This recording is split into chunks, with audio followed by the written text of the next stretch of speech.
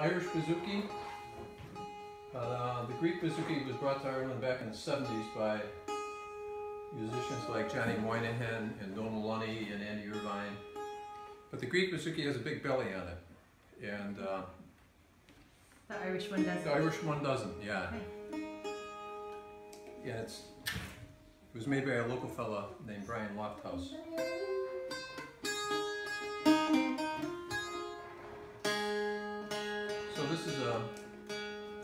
Song about Michael Davitt, who was uh, a leader in the Land League back in the 19th century. He was a Mayo man. And he had one arm because he lost it in a mill when he was probably 13 or 14. Okay.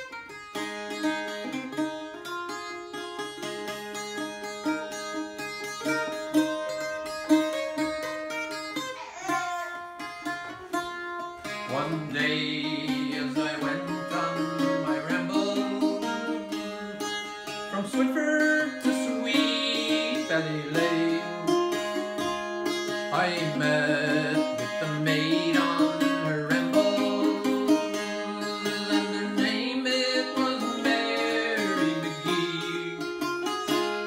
She for the love of her country,